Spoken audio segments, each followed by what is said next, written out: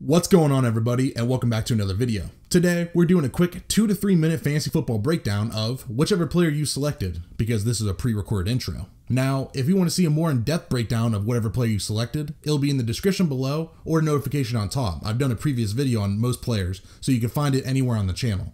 If you like what you see today, please leave a like on the video and subscribe to the channel. We have plenty of fantasy football content coming your way before your drafts. So stay tuned and let's get to the video. Alrighty, so Saquon Barkley is my number two running back in both PPR and standard leagues, and it's because I think he's the best talented, the most talented running back in the in real life NFL, which usually translates pretty good for fantasy football. Now, I love Christian McCaffrey and Zeke Elliott. They're both great players, obviously, but the way that Saquon Barkley moves at 230 pounds, the way he cuts, he accelerates, the speed, the catching ability, it's unmatched. You don't see it from guys like this. His size, there's no, not many guys in history that move like the way he does. He's Adrian Peterson.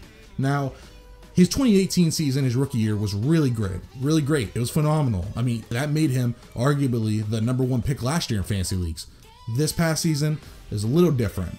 He missed three games due to injury, and he had a lot of good games and some bad games. You know, he had 43.9 points, 30 points, 28, 22 fantasy points.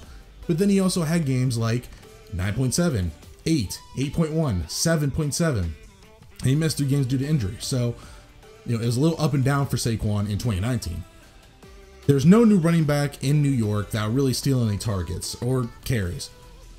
Dion Lewis was brought in. Not much there. I mean, he had one little flash with the Patriots, and other than that, he's been pretty much silent. Jason Garrett comes in as offensive coordinator, which I know most people would go, Oh, I, I don't know. I, I don't know if I like Jason Garrett. But what he was good at was making Zeke Elliott a top five running back every year of his career that he played 16 games. So that combination with, you know, not really any new talent coming in to, you know, take away any any work from Saquon Barkley, uh, offensive coordinator who's going to run the ball like crazy and knows how to get his RB touches.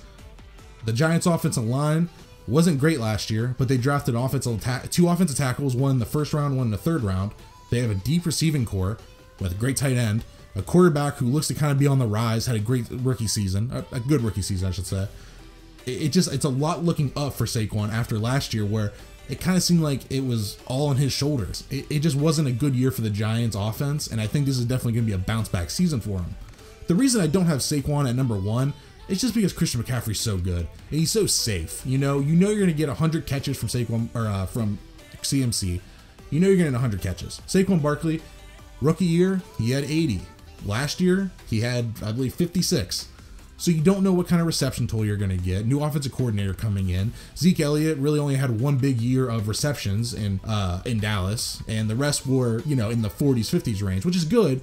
But for Saquon Barkley's ability, it could be a lot better. Barkley has one of the highest upsides of any draft pick you'll take. I mean, I think he's relatively safe.